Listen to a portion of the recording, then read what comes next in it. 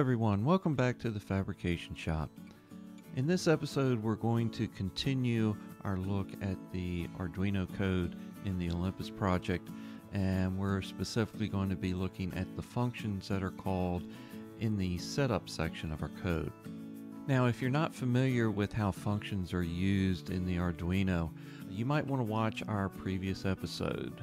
There, we went ahead and we looked at how functions are created, what we use them for, and how they can be beneficial in your program. So without further ado, let's go ahead and start by looking at the setup function. So as we start out, the first thing that we're going to notice is it starts as a typical Arduino sketch. Now if we look at the code itself, you will see where we have the code where we assign our pins, the red, green, and blue, and we're setting them as outputs. You can also see where we would initialize the serial port if we were using this for ground testing.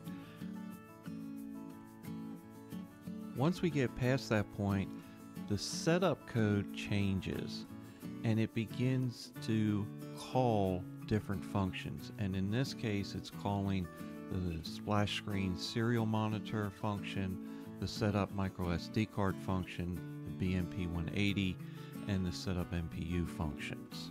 And that's all that we have in the setup section. So as we look at our setup code, we see that there's less than 10 lines, 10 actual code lines between the setup for the RGB, initializing the serial port, calling the splash screen, calling the micro SD card function, calling the setup BMP 180 function, and calling the setup MPU function. So now what we want to do is we want to look and see what the functions are behind each one of these. So the nice thing about this is by using the functions with our setup code, it's a short, concise, easy to read, easy to understand setup function. We know what setup's going to do. It's going to activate each one of those items. It's going to set them up and that's all we really need to know. And now we can move on and see what each one of those functions accomplish.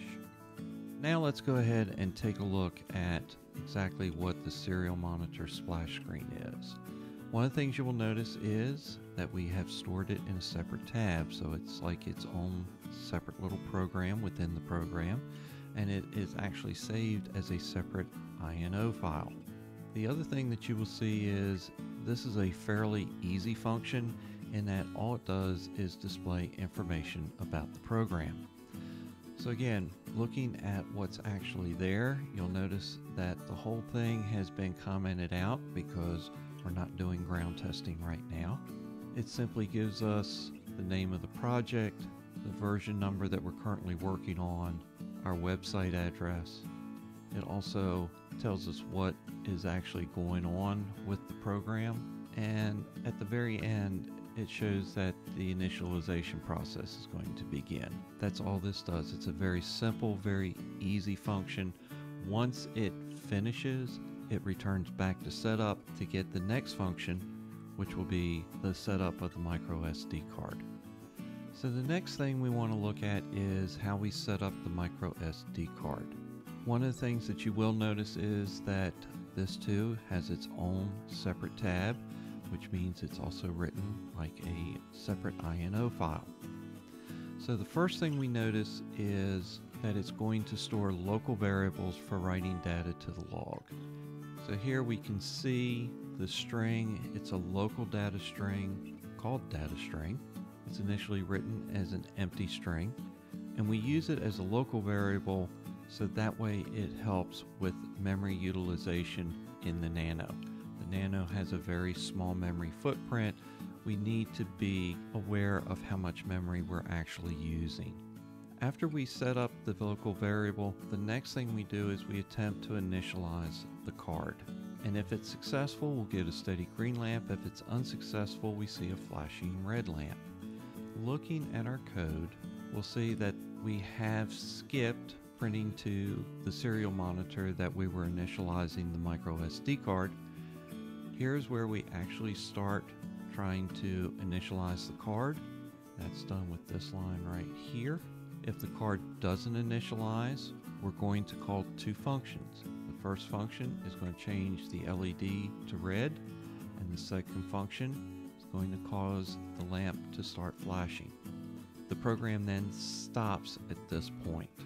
There's no sense in going any further. Remember, this is the way we're going to collect and store our data during flight. If the SD card is not working, there's no sense in firing the rocket because we'll have nothing but a extra heavy payload area that while the rest of it may work, we're not going to know if it did or not. It's very important that we have the SD card functioning so that we collect this data. If the card did initialize properly, we again call two functions. The first one changes the light to green, and the second one changes the LED to a steady lamp. If we were doing ground testing or during development, we have it so that it prints to the serial monitor that our SD card initialization was successful. While we have the card successfully initiated and we know it's working, we're not done yet with the setup. The next thing that we need to do is we need to create a unique file name for each one of our logs for each flight. Otherwise, it's just going to simply overwrite previous files and we don't want to do that. So then the second part of setting up our micro SD card, we need to go ahead and set up the file name and header that's going to be used for our CSV file. You may remember earlier we set up the file name flight log and you can see that here in the declaration section. This is where we named the flight log 00.csv. Now we're going to go back and use that. This time we're going to replace the numbers 00 with the numbers 1 through 99. So here we can look at how the software is going to do this. Now we can't take credit for this. This was a nice little function that we found in another program called Altduino. It will take the 00 and replace them with the numbers 0 to 99, in essence giving us 100 file names. As it increments each one, it looks to see if that file name exists. If it does, it continues to loop through, and it will do this until it finds a name that doesn't exist and once it finds a name that doesn't exist, it will then come down and it will create that file name and then open the file so that we can write to it. The file name has to be unique, otherwise, it's going to overwrite data from previous flights, and that's something we really don't want. After it opens the file, the next thing we wanted to do is write the CSV file header we can see that the header is going to be each of the data items that we're going to collect. You need to make sure you keep your data in the same order as the header, otherwise things won't make sense. And so you can see here we have the timestamp, the altitude in meters, absolute pressure, the pitch reading, the roll reading, the yaw reading, and acceleration in all three axes, as well as temperature. So all that data is going to be collected. It writes that header file and then it closes out the file. This completes the setup of the micro SD card. Now we're ready to move on to the BMP 180 setup. Our next function is the setup of the BMP 180. Very much like the setup of the micro SD card, it's going to initialize the sensor. If it's successful, we'll get a timestamp, and if it's unsuccessful, we'll get a flashing blue light. So again, going back and looking at the code, we see that it is very similar to what we've seen earlier. As before, since we're not using the serial monitor, this line is commented out. The next thing it's going to do is it's going to initialize the sensor.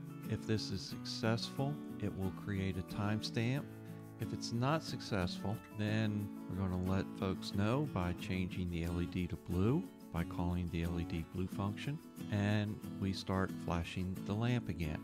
We also stop the program at this point. If it's not working properly, there's really no sense in sending the rocket up. So let's get it corrected, reset the system, and start again. Once we have the pressure sensor initialized, the next thing we need to do is we need to get a baseline of the pressure there at the pad. To do that, we're actually going to call another function called readings BMP 180, and we will talk about that in a future episode. That completes the setup of the pressure sensor, the BMP 180. It returns back to setup, and there it will start with the MPU 6050 sensor. So the last function that's called by setup is the setup of the MPU 6050. This is our inertial measurement unit. Just like before, we're going to start by initializing the sensor. If it's successful, we'll move on. If it's unsuccessful, we will get a flashing yellow lamp. So we can see that here in the code. Here's where we start to initialize the sensor. Here we call the function LED yellow to change the color of the LED to yellow. And then we started flashing by calling that same function again, LED flashing lamp. Once again, the program stops. So for each of our sensors, we have to have a successful initiation in order to continue on. If we don't get it, the program stops.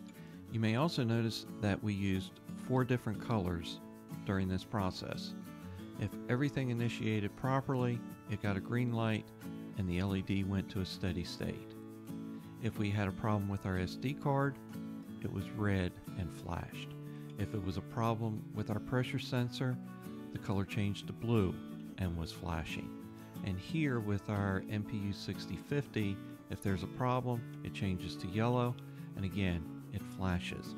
By using these color codes, we don't need to have the computer hooked up to see what's wrong with the system. We know simply by the colors where the problem is and we can work on correcting it. So once we have the sensor successfully initialized, the next thing we need to do is calibrate the gyroscope. Now that sounds scary, but the nice thing is the library that we're using does the heavy lifting. All we have to do is tell it calibrate the gyro. The library does the heavy lifting in the background to calibrate the gyro for us.